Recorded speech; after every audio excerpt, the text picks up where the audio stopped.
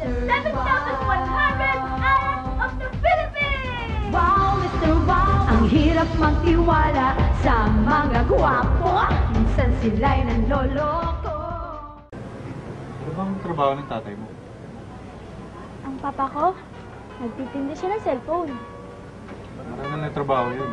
Basta hindi na ako yung tinitinda niya.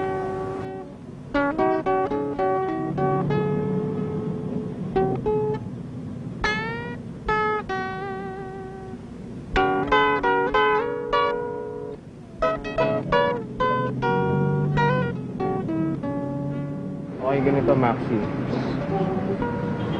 Ka makakarating sa bahay. Pero wag mo na pupuntahan yun, ha?